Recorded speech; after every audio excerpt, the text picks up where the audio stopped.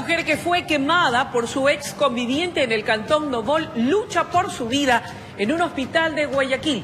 Un video que está en manos de la policía revela el lugar donde el sujeto, que es buscado por la justicia, consiguió el combustible para cometer el ataque cobarde que ha sido denunciado como tentativa de asesinato.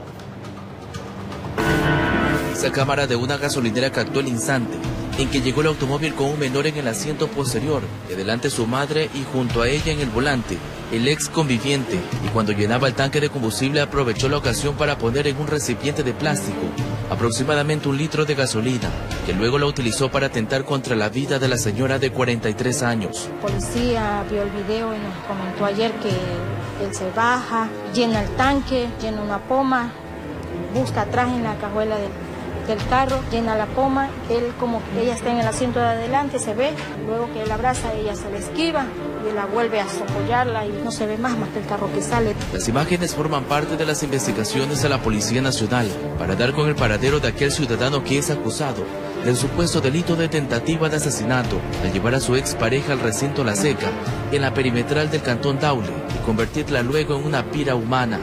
Mi cuñada está totalmente quemada, irreconocible, se halló desnuda, no se sabe qué fue lo que mismo le hicieron a ella, pero tiene quemadura de tercer grado, está entubada ella.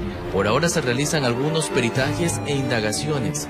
Y aún se desconoce el paradero del denunciado, quien habría premeditado todo, hasta en dejar al hijo de la víctima en el minimarket de la misma estación de servicio, ubicada a pocos metros del peaje en la vía Daule tomándose una bebida gaseosa. No se encontró nada, no se encontró ni la cartera de la señora ni el teléfono celular. Sí tenemos solamente lo que es las versiones de la señora, dentro de las cuales indicaba que había dicho o había indicado que si no eres para mí, pues no serás para nadie. Ella se encuentra internada en la unidad de quemados del hospital Luis Bernaza en Guayaquil y su estado es crítico.